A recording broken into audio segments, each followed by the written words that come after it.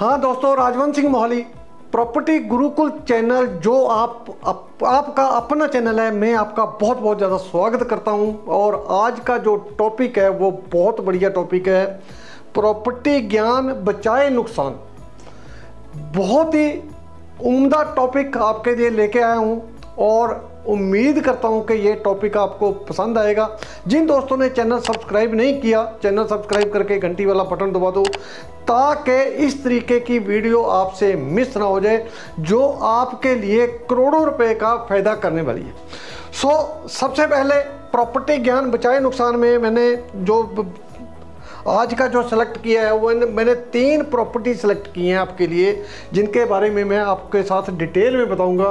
एक तो मनाली में होटल है दूसरा विशाल मेगा मार्ट हरियाणा में है और तीसरा राजस्थान का होटल है, जो ये इन प्रॉपर्टियों के साथ मेरी भेंट हुई, मेरी मुलाकात हुई और मुलाकात में मैंने वहाँ पर क्या किया, क्या सीखा, क्या आपके सीखने वाली बात है, वो बात आपके साथ करने वाला हूँ। सो, सबसे पहले मैं मनाली होटल की बात करता हूँ। मनाली हो मोहाली का एक हमारा सज्जन, बंटी भाई वहाँ पर काम करते हैं, उनका होटल है अपना मनाली में। तो वो बार बार जब भी हमें मिलते थे कि सर, आप आओ घूमने, वीर जी आप घूमने आओ वहाँ पर। तो हम जब उनके पास गए तो वहाँ पर जैसे मेरी आदत है कि जब भी मैं कहीं किसी नए शहर में जाता हूँ तो वहाँ प्रॉपर्टी के बारे में जानकारी ज़रूर लेता हूँ।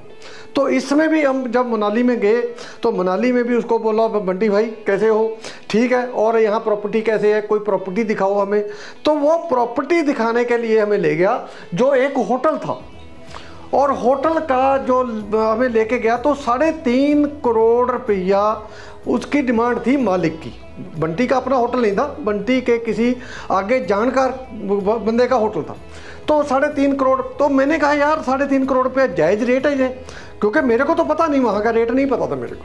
तो मैंने वहाँ उनके साथ जो बात करनी थी, बात करने वाली बात करी है, वो बात ये थी कि यहाँ पर जहाँ होटल बना हुआ है, वहाँ ज़मीन का क्या रेट है? तो ये होटल था दोस्तों 200 गज में बना हुआ 200 स्केर यार्ड में बना हुआ था। और मैंने उसको पूछा कि इसका रेट क्या है? वो कहते जी, पचहत्तर से लेके अस्सी हज़ार रुपये गज के हिसाब से रेट है। चलो, मैं कहता हूँ अस्सी हज़ार रुपये स्केयर यार्ड भी हो पर स्केयर यार्ड भी हो तो 200 गज का प्लॉट का रेट इसका बनता था ज़मीन ज़मीन का एक पॉइंट साठ करोड़। मतलब एक करोड़ साठ लाख रुपए की ज़मीन ज़मीन बनती थी।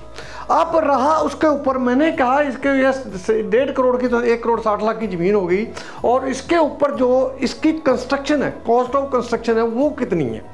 जितना उनका मतलब बना हुआ था तो मैंने उसका हिसाब किताब जो लगाया था तो तकरीबन तकरीबन ये पचहत्तर लाख रुपए जो कंस्ट्रक्शन के ऊपर लगे हुए थे। तो मेरे हिसाब से यदि उसका मार्केट वैल्यू निकाला जाए तो दो करोड़ और पैंतीस लाख रुपए बनता था। दो करोड़ पैंतीस लाख रुपए की चीज़ के वो साढ़े तीन करोड़ रुपए मांग रहा था।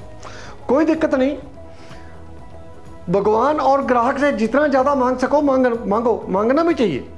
क्योंकि महात्मा गांधी ने कहा है, ग्राहक परमात्मा का रूप है और परमात्मा से जितना ज़्यादा आप मांग सकते हो तो मांग लेना चाहिए।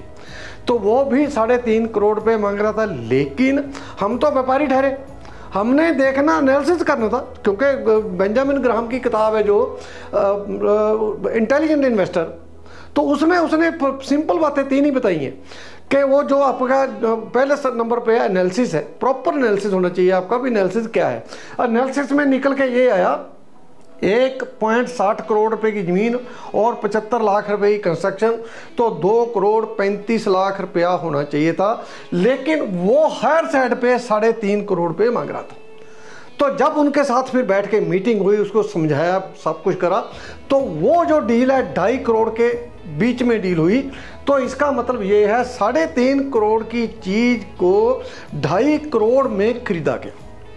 तो ये आप समझ सकते हो कि क्या कैसे हुआ ये, कि भाई इसके एक एक चीज़ मतलब उसकी कॉस्ट जो लैंड कॉस्ट है, वो निकालेगी, उसके बाद उसका जो था अपने कॉस्ट ऑफ़ कंस्ट्रक्शन निकालेगी, उसके बाद होटल की अक्यूपेंसी देखेगी उसमें खाने वाले कितने आते हैं, कितने नहीं मतलब कई फैक्टर थे जो उसमें कंसिडर किए गए, और कंसिडर करने के बाद जो हमें दो करोड़ पैंतीस लाख रुपए के कॉस्ट था, वो पंद्रह बीस लाख रुपया ऊपर डाल के उसकी डील करवाई गई। तो ये देख, आप समझ सकते हो कि इसमें ज़्यादा नहीं। यदि हम इसको ये कैलकुलेशन ना करते, जो बंदा साढ़े तीन करोड़ मांग रहा है, हम सवा तीन करोड़ में आस पास डील कर लेते, तीन करोड़ तीस लाख की कर लेते। लेकिन उसके पिन पॉइंट तक जाने के लिए हमें उसकी land cost cost of construction उसकी होटल की बुकिंग ऑक्यूपेंसी कितनी रहती है, उसमें खाने के कितने हैं स्टाफ कितने हैं, खर्चा कितने हैं, वो सारे कैलकुलेट करके ये ढाई करोड़ रुपए में डील कर ली गई। इसका मतलब ये डील इस तरीके से बहुत ही बढ़िया मतलब डील हम इसको कह सकते हैं। तो अगली जो डील अगली डील है इसमें विशाल मेगा मार्ट ये कालका में थी। ये कोई मेरे दोस्त मेरे को फ़ोन करके सुबह बोल रहे हैं कि यार इस तरीके की ये प्रॉपर्टी मिल रही है तो ये कितने में होनी चाहिए? मतलब इतनी, इतना इसका रेंट है, ये मेरे साथ बात करने लगे। मैंने कहा भी ये, यदि इस, इतना रेंट है तो इतनी इसके आसपास होने चाहिए। तो वो कहने लगे कि यार, जिस बंदे ने हमें प्रॉपर्टी ये दिखाई है, वो प्रॉपर्टी में नया है, उसको ज़्यादा तजर्बा नहीं है। यदि आप हमारी मदद कर दो, ये डील हमारी करवा दो तो मैं आपका थैंक यू करूँगा और जो आपका जो बनता है, वो भी दे दूँगा। मैंने कहा, कोई बात नहीं, वो मेरे मतलब बहुत अच्छे दोस्त थे। तो मैंने कहा, कोई बात नहीं, हम चलते हैं। तो चल के हम चले गए। शिमला में बंदा रहता था, मालिक था जो। ये कालका हरियाणा का है। तो इसमें हम जो शिमला में गए, अशोक सूद उनका नाम था, होटलियर थे, बहुत बढ़िया बिल्डर भी थे। तो जब हमने उनके साथ बातचीत चलाई तो बातचीत चल हमने उन्होंने हमें लंच करवाया। लंच के हमें टाइम तो पूरा दिन लग गया। लेकिन जब हम बात निकल के आई तो तीन करोड़ पाँच लाख में वो डील हो गई। मज़े की बात यह है कि ये बंदे जो लेने वाले थे, तीन करोड़ चालीस लाख रुपए के इन्होंने हमें पैसे दे दिए थे कि आप तीन करोड़ चालीस लाख रुपए तक हमारी डील करवा देना। इसमें कोई बुराई नहीं है। हम तीन करोड़ चालीस लाख रुपए के लिए तैयार हैं। लेकिन हमने अपने तजर्बे के हिसाब से उससे एक एक बात करके, अशोक जी से, अशोक सूद से बात, एक एक चीज़ बात करके हम वहाँ तक ले गए कि ये जो डील है हमें तीन करोड़ और पाँच लाख रुपये में डन कर दी और जिस बंदे ने ये डील ली, वो he was highly thankful to me कि यार, आइए, आपकी वजह से ये हो गया। मेरी वजह से क्या हुआ, हमने अशोक जी से जब बात शुरू की तो उसके साथ हमने सारी बातें डिस्कस की, जो उसमें माइनस था माइनस पॉइंट थे, वो डिस्कस किए, जो उसमें प्लस पॉइंट थे, वो डिस्कस किए। माइनस पॉइंट के हिसाब से हमें जो रेट लगाया, हमने दो करोड़ अस्सी, पचासी लाख रुपए उसका रेट लगाया था, लेकिन वो जाके तीन करोड़ पाँच लाख में डील होगी, और पैंतीस लाख रुपया परचेजर के हिसाब से ये सस्ती प्रॉपर्टी हमने उसको लेके दी और वो बंदा बहुत ज़्यादा खुश है और मज़ा आ गया, कहता जी आपने इस, अपने तरीके से करा।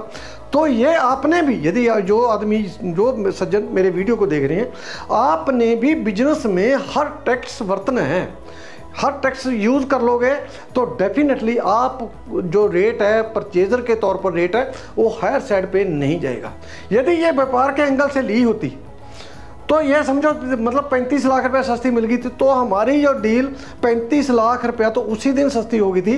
और यदि हम किराए का हिसाब लगाएँ दूसरा हिसाब लगाएँ तो हम इसको तीन, साढ़े तीन, पौने चार करोड़ रुपये तक बेच सकते थे। मतलब इसमें से साठ सत्तर लाख रुपये की हमें आरओआई मिल सकती थी। रिटर्न ऑन इन्वेस्टमेंट हमें आराम से मिल सकती थी। सो so, ये हमने देखा एक एक चीज़ देखी उसमें प्लस देखा उसमें माइनस देखा उसका मतलब आसपास में देखा उसकी जो लोकेशन है वो देखी किराएदार देखे कई कुछ देखा उसमें। तो वो जब कैलकुलेशन करने के बाद हमें ये पैंतीस लाख रुपए डील सस्ती मिली। ये बहुत ही अच्छा मतलब उन्होंने आ, मतलब मेरे को जो स्पेशल थैंक्स उन्होंने कहा उसके लिए मैं मैं बहुत खुश हुआ इसके लिए। मैंने कोई कमीशन नहीं चार्ज की और कोई कुछ नहीं लिया, उनसे कुछ भी नहीं करा, लेकिन उनको बेस्ट डील लेके दी, ये मैं इस बात के लिए बहुत खुश हूँ। तो अगली जो डील है, अगले राजस्थान के होटल में मैं गया था 19 मार्च 2007 को। हम राजस्थान में गए घूमने के लिए विद फैमिली तो जाते समय जयपुर से 80 किलोमीटर पहले एक होटल पड़ता है, हाईवे किंग। तो हम वहाँ रुके। तो वहाँ रुके तो वहाँ पर जो हमने खाना खुना खाया, रात नाइट स्टे वहीं की और वहाँ पर जो मैं आपको बता चुका हूँ कि मेरी आदत है कि मैं देखता रहता हूँ कि यहाँ पर जो प्रॉपर्टी है, वो क्या, किस रेट में हमें मिल सकती है प्रॉपर्टी का क्या रेट है, क्या है तो ये चीज़ें देखता हूँ।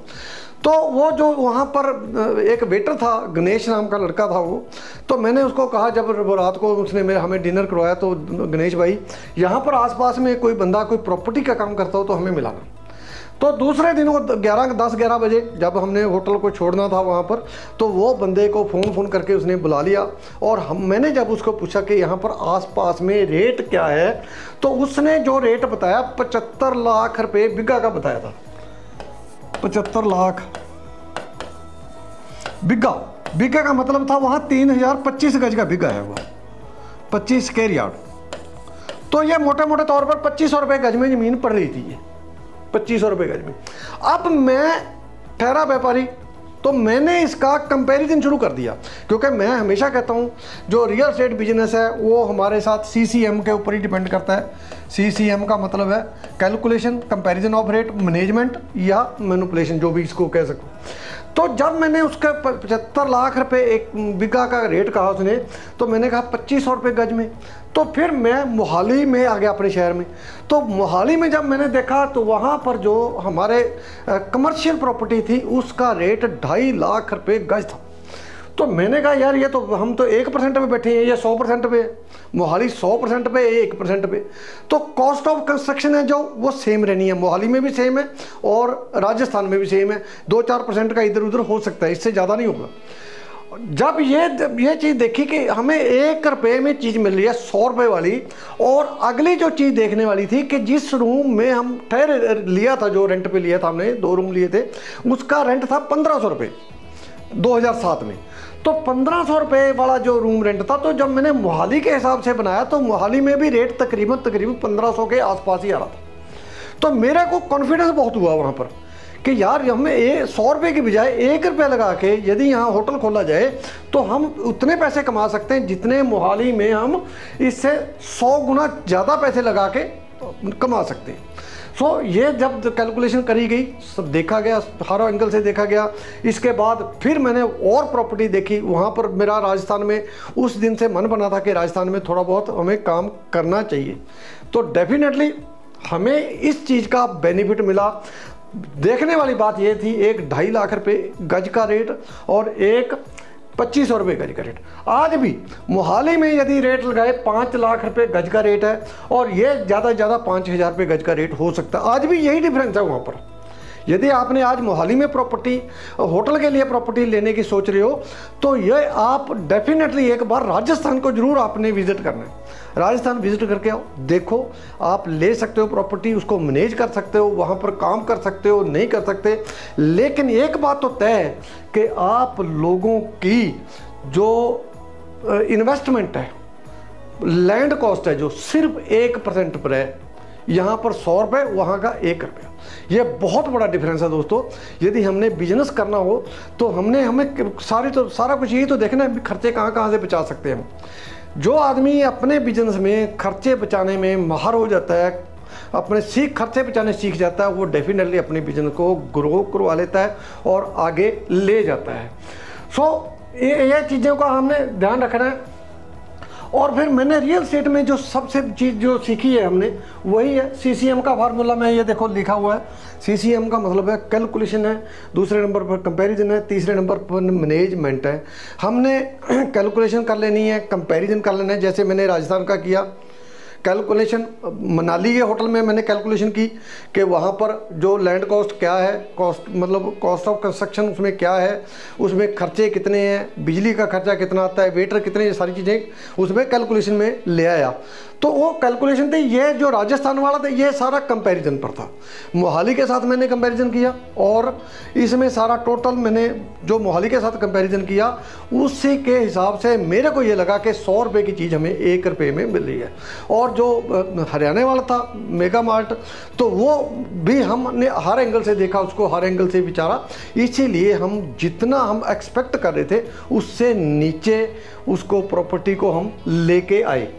सो दोस्तों, ये चीज़ों का हमने ध्यान रखना है। यदि हम इन चीज़ों का ध्यान रखने में कामयाब हो जाते हैं तो डेफिनेटली हम अपना पैसा अच्छे तरीके से बढ़ा सकते हैं, अपना नुकसान बचा सकते हैं अच्छा पैसा कमा सकते हैं।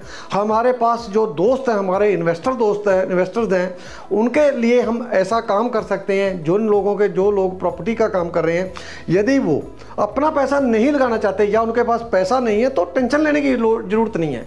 जब टेंशन लेने की लोड़ नहीं है तो ये चीज़ें फिर आप इस तरीके की जब चीज़ें आपके पास होंगी, आप सामने वाले के साथ बात करोगे कॉन्फिडेंस के साथ बात करोगे, आँख में आँख डाल के बात करोगे तो डेफिनेटली वो बंदा आपके साथ पैसे लगाने के लिए तैयार हो जाएगा।